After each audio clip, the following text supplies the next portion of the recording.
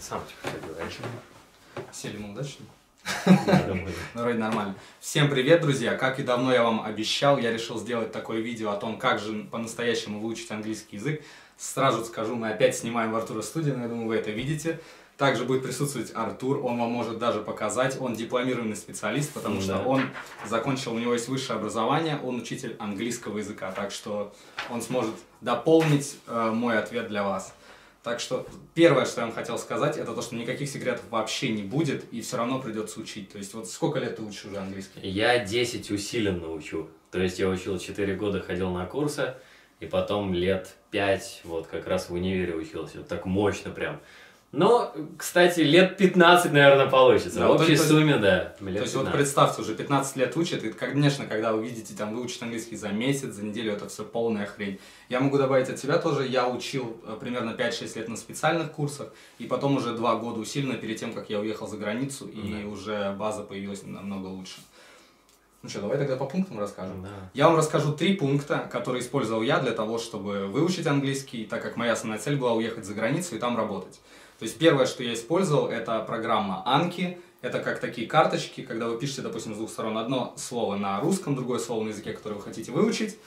И все, и просто повторяйте каждый день. Смысл тот же самый, только в вашем смартфоне, компьютере или в любом другом портативном устройстве. Потом второй совет, который я могу сразу сказать, это вы должны не просто использовать программу, а учить как можно больше слов и стараться делать это постоянно. Постоянство это ключ к успеху. Вы должны делать это, ну, как минимум, там, вот каждый день уделять. Пускай будет 15 минут, пускай 20 минут. Это совсем маленький промежуток времени, но это должно быть постоянно, месяц за месяцем, и со временем вы увидите, насколько сильно увеличится у вас запас. Ну и третье, это просто общение с носителями. Это то, что мне помогло больше всего. Я приехал, знал много слов, общаться толком не умел, было много проблем, но каждодневное общение вывело мой язык на просто очень высокий уровень. Ну а теперь Артур расскажет свой опыт. Я дам четыре совета, самые важные, которые лучше всего помогают выучить английский.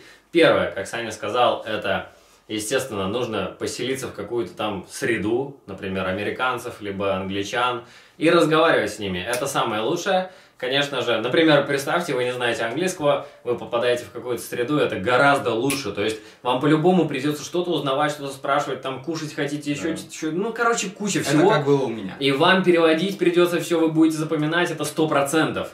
Второе, это эм, э, фильмы.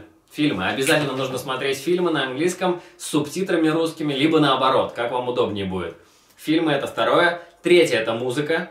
Надевайте наушники, кстати. куда бы вы ни шли, и слушайте английскую музыку в любых местах, потому что развивается тогда словарный запас, э, понимаете больше, как бы, когда вам носители будут говорить по-английски что-то, вы будете понимать их, потому что вы слышали это в музыке. А если вы не будете слушать музыку, не будете смотреть фильмы, вы не сможете тогда понять, потому что в школах учат совершенно по-другому. Обычно учителя, которые в школах учат, они, блин, ну они абсолютно как бы не разговаривают так, как американцы, Ну, как англичане. абсолютно. Это вообще абсолютно, Абсолютно другой язык, и когда вы придете куда-нибудь э, не знаю, в какую-нибудь среду, где американцы, англичане, вы ничего просто не поймете, скорее всего. Ну, фразу точно не поймете, что они сказали. Так, и четвертое, это играть в компьютерные игры. Если вы задрот какой-нибудь, то обязательно играйте на английском, потому что вам по-любому придется понять суть миссии, да, какой-нибудь там, Да. э, там описание игры, что делать и Чтобы так далее. сюжет. Вы обязательно будете учить те слова, которые там написаны. И это, естественно, будет откла- откладываться в памяти, и вы будете учить английский язык. Да, и вот я, кстати, хотел добавить э, к твоему третьему, это то, что когда вы слушаете музыку или смотрите фильмы, также у вас улучшается произношение именно. Да. То есть вы будете слышать, как говорят вот такие native speaker, кто родился, кто с детства говорит на этом языке, и вы будете произносить это также. Это Будете намного слышать корректный язык. То есть не Да. тот, который учителя говорят, там, они некоторые косячат Так, вообще. У меня точно так же было. Я Да. уехал, вот понимаете, у нас в школе я учился, я отучился 9 классов в школе, 5 лет на специальных курсах. Я приехал в страну, и меня даже не поняли, когда я сказал слово «мама». Мгм. Потому что я произносил его неправильно, я произносил, как учат- у нас, а там сказали совсем по-другому. Ну, Так оно и есть. Обычно так и происходит. Потому что в школах учителя, они какие-то... Но они могут вообще по-другому произносить. У нас вот как бы э, в универе учительница, она доктор, доктор. И она произносит всякие там... Она добавляет, например, к каким-нибудь словам там R в конце. Да. То есть что-нибудь... э, I know, вот так. Типа не I know, а I know, что-то... Да, что так блин, что это такое? Короче, если ее слушать, ты просто не можешь понять, почему она это добавляет.